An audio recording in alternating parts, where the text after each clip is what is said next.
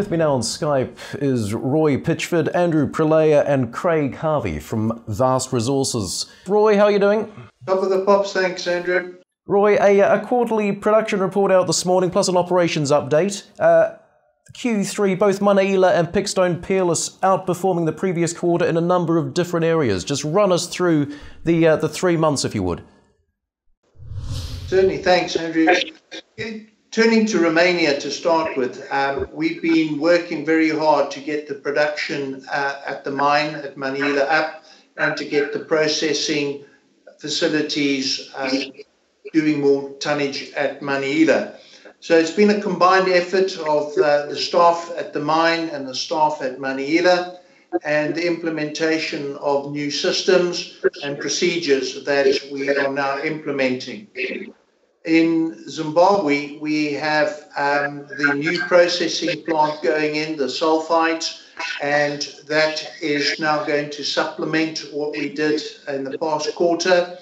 The pleasing thing with the previous quarter at Pickstone was that we got more than 20,000 tons a month milled. Our target there is 60,000 tons a quarter. Our target at Manaila is 45,000 tons a quarter. Uh, we did 39, so we're well on our way to achieving our objectives there. Andrew, do you want to add something? Uh, not really. I think uh, the most important thing is having the uh, the joint uh, staff between the head office, being Craig, and the management on site in Manaila, which had come leaps and bounds to advancing smoother systems and better operations, increasing stripping at the, at the mine, and then implementing uh, more controls to allow us to build up the um, the production levels at uh, Manaila. And Andrew, so you, you've been doing uh, two phases of drilling at Manaila. Have you? You've, you've completed both of those? Yes, we have. Uh, at the extension of Manaila, which is called Carlibaba, it actually goes into three different jurisdictions on the mountain. Um, we we completed the first phase and we announced the results of that, uh, I think, in September. We've now completed the second 1,200 metres of drilling. Uh, Craig is probably better versed in, in uh, describing the results of those, uh, the, the, the, drilling uh, results, sorry, excuse me. And um, what we found is that I believe, and Craig, you can correct me if I'm wrong, that it is in, within line with what we released in our JORC in April 2016, and we're happy with the results. And with that, we're now on the path forward to um, moving ahead and building the new metallurgical plant up uh, near the Manaila open pit. That's 100% correct. So yeah, Craig, can can we bring you in um, in terms of in terms of the latest drilling at uh, at Manaila? What what is the latest there? You're, you're working towards an upgraded JORC resource, are you?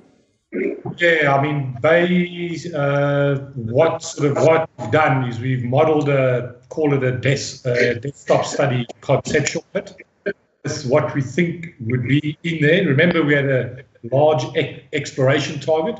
So the idea behind this is to drill in this area and upgrade the exploration target resources into a minimum of an indicated resource category. And I'm pleased to say that uh, it's confirmed, you know, the modelling, uh, structural modelling, uh, depth, depth below surface, the thickness of the reefs. You've seen the results of the first phase. We're very happy with it. I can say that looking at the core, I mean, I've physically seen the core from the second phase. I've seen some initial results, and it's on target. And Craig, just while I've got you, you're doing a bit of soil and rock sampling at uh, two other licenses, are you? At Manaila? Um, those are on the greater Zug, life, uh, life license areas.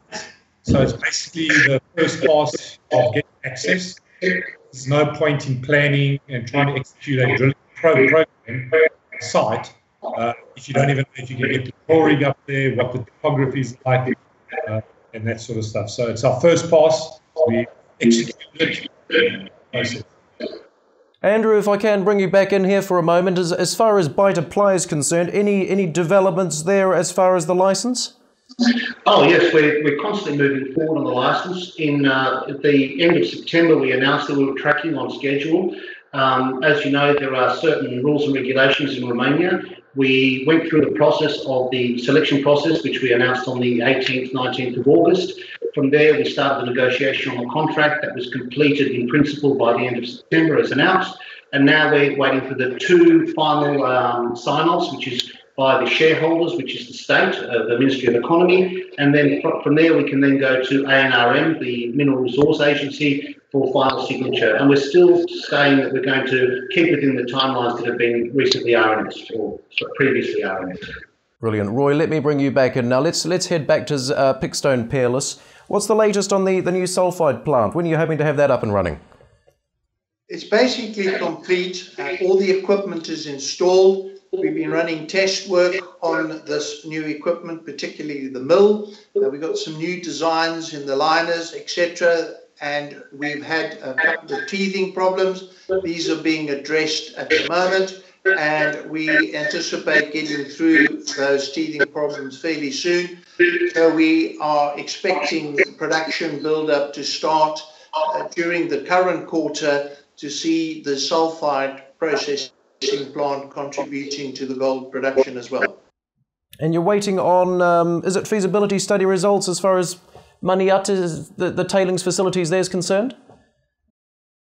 We haven't completed the feasibility study yet. We're still working on that and we will get the results out to shareholders in the market as soon as we are finished with it.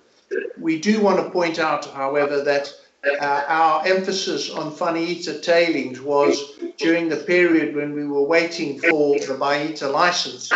And now that this license is imminent, what we will not do is displace fresh ore from underground by processing the tailings. So obviously the new ore from underground will get preference and to the extent that we have spare capacity, we would then consider processing the tailings. At the completion of the feasibility study, we will re-evaluate it. Uh, it may well be that we do something separately with the tailings or we hold it over till later when we've increased the capacity at Baita. How's Q4 kicked off, Roy? So far, so good? Yes, um, we've uh, had a good start and things are picking up nicely and we are seeing an improvement, uh, the improvement in the previous quarter continuing, and obviously our focus is to maintain that momentum. And uh, Roy, I'll come back to you in a moment. Andrew, uh, a final word from you. You're, you're, pretty pleased with how things are coming along? I'm oh, very pleased. The, um, the implementation of, let's say, new ways of uh, reporting systems in Manaila and the improving of the existing plant is happening on a continual basis. Um, Craig is working closely with local management to improve those systems. With that, we believe that we will maintain the current production levels um, and improve efficiencies greater over the coming quarter. Even though winter is looming, we're starting to take precautionary measures. Uh, Craig is on the ground, thank goodness for us all, and um, we appreciate his assistance. And I believe that working together with the local management team, we'll see those those results continuing to better.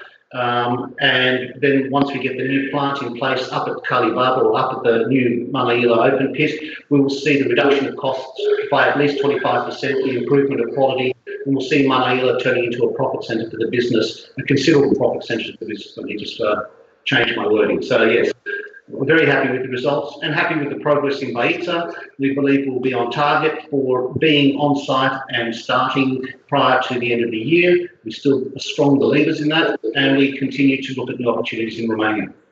Well, as Andrew was saying there, Craig, a final word from you as well. You're on the ground. Uh, you're pleased with, with progress, good developments here? We've got in a big drive of you can only control what you measure. So if you measure the right things, you're going to control your results, and your results speak for themselves. And I think Q3 has. We are, obviously increasing uh, production and revenue, and it's carry on. Um, and I think the people are taking to it as well. Very good, uh, Craig. Thanks very much. Roy, um, any developments you can let us know of on the, the financing side? Uh, we continue to evaluate uh, opportunities. We, in addition to the uh, strategic potential investors that's ongoing, we're looking at a number of uh, different opportunities, uh, vendor financing for equipment, debt funding, um, all, all sources of uh, funding that would be to the best advantage of the company and the shareholders. So we hope to complete our decision-making process soon and then announce to the market what we're going to do. Andrew, also, you'd like to uh, to add a comment as, as far as the, the financing is concerned?